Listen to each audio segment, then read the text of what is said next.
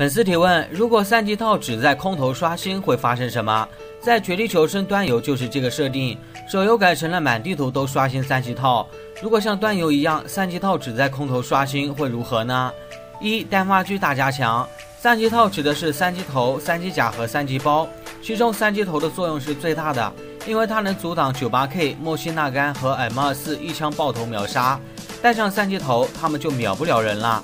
可现在三级套只在空投刷新，空投是极少的，大多数玩家只能带二级头，二级头会被单发狙玩克，所以单发狙是大加强。二空投更有吸引力，和平精英中的空投吸引力已经很低了，因为只有几把空投枪，还有极地服能够吸引人。虽然里面必刷三级套，但大多数玩家搜地图都能搜到，所以很多人对空投里的三级套并不感冒。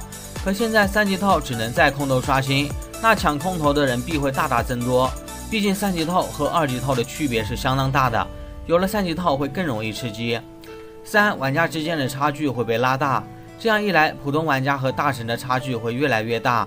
普通玩家抢不到空投，只能穿着二级套，而大神能抢到空投，穿着三级套。